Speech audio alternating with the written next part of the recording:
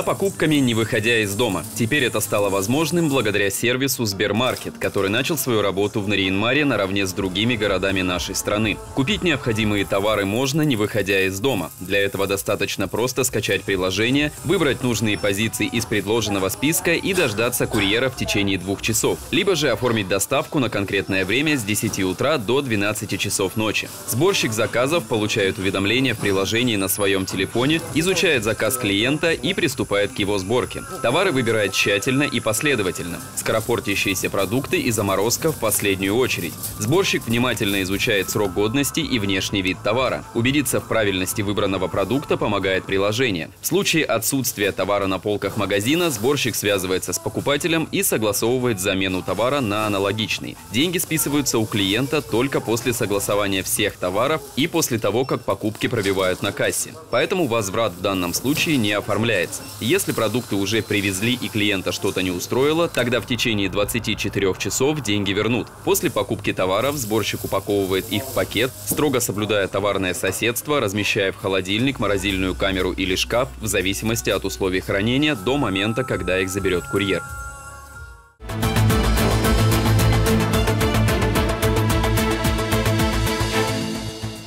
1 октября в штатном режиме возобновили свою работу отделения социальной защиты населения и офисы многофункционального центра «Мои документы». Ранее в связи с эпидемиологической ситуацией их деятельность регламентировалась ограничительными мерами. Как сообщили, в отделении социальной защиты населения специалисты ведут прием граждан на первом этаже учреждения по вторникам и четвергам строго в часы приема с 13.30 до 17.30. Оставлять корреспонденцию в неприемное время можно в почтовом ящике на входе. Офисы «Мои документы» документы на территории Ненецкого округа также возобновили работу в режиме, который действовал до введения ограничительных мер. В помещениях МФЦ продолжают действовать требования Роспотребнадзора о соблюдении социальной дистанции не менее полутора метров, масочного режима, а также ограничения по численности заявителей, одновременно находящихся в зале приема.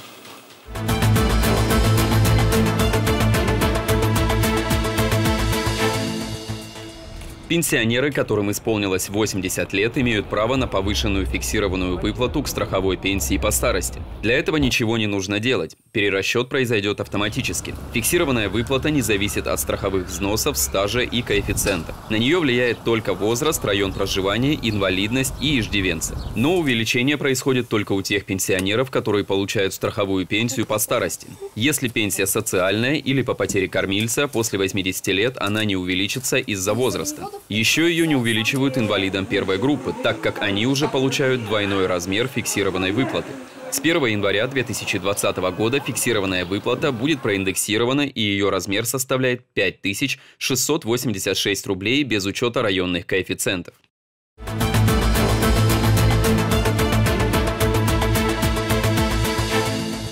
Право на повторное получение сертификата на окружной материнский капитал у многодетных семей появилось в 2019 году, когда в закон о дополнительных мерах государственной поддержки семей, имеющих детей, были внесены поправки, согласно которым с 1 ноября 2019 года региональный материнский семейный капитал в Ненецком округе начал предоставляться на каждого новорожденного или усыновленного ребенка многодетной семьи. До этого момента получить сертификат можно было только один раз на третьего или одного из последующих детей. Сертификат на региональный материнский капитал могут получить жители округа, проживающие здесь не менее трех лет до рождения или усыновления ребенка. Срок обращения с заявлением о выдаче сертификата не ограничен. По истечении одного года со дня рождения ребенка можно подать заявление о распоряжении средствами материнского капитала, а на некоторые цели средствами можно распоряжаться, не дожидаясь года.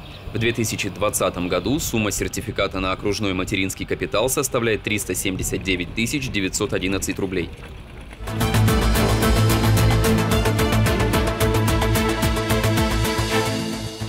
Из-за пандемии новой коронавирусной инфекции, затянувшейся на все лето, многие северяне отказались от отпусков и, соответственно, от использования льготной северной дороги. В связи с этим жители Ненецкого округа интересует вопрос, пропадет ли у них право на льготу, либо его можно реализовать в другое время. Ответ на этот вопрос дают изменения по использованию льготной дороги северянами, которые внесены окружной администрацией в положение о компенсации расходов на оплату стоимости проезда и провоза багажа к месту использования отпуска и обратно. Согласно документу, работники и неработающие члены их семей, имеющие право на льготную дорогу, но не воспользовавшиеся ею в 2020 году из-за ограничительных мер по предупреждению распространения коронавируса, могут реализовать это право в 2021 году.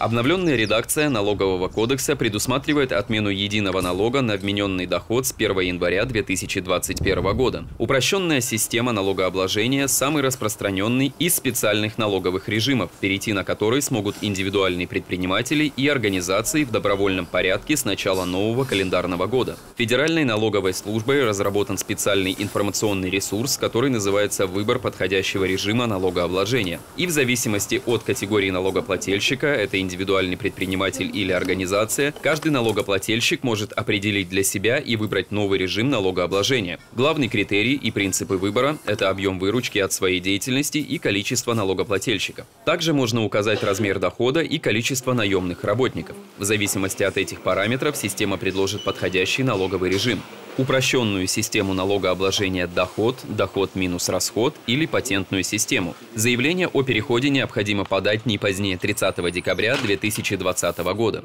Выбрать альтернативный режим налогообложения можно на официальном сайте налоговой службы через личный кабинет. Если не подходит ни один из специальных налоговых режимов, то автоматически будет выбрана общая система налогообложения.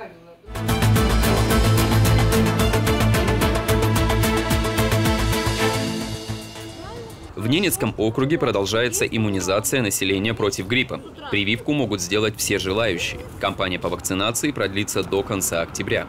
В состав противогриппозных вакцин в новом эпидемическом сезоне по рекомендации Всемирной организации здравоохранения вошли три новых штамма. Медицинское сообщество призывает жителей Ненецкого округа не пренебрегать профилактической вакцинацией против гриппа, которая в случае одновременного заболевания гриппом и новой коронавирусной инфекции поможет смягчить тяжесть заболевания. Для прививочной кампании в регион по федеральной квоте доставлена вакцина «Савигрипп» первую очередь прививку от гриппа необходимо сделать лицам из групп риска, определенным национальным календарем профилактических прививок. Это дети в возрасте от 6 месяцев до 18 лет, студенты, лица, подлежащие призыву на военную службу, беременные женщины, лица, имеющие хронические заболевания, работники медицинских и образовательных организаций, транспорта, коммунальной сферы, пожилые граждане старше 60 лет. Сделать прививку можно во взрослой и детской поликлиниках Нариенмара и в Центральной районной поликлинике Заполярного района.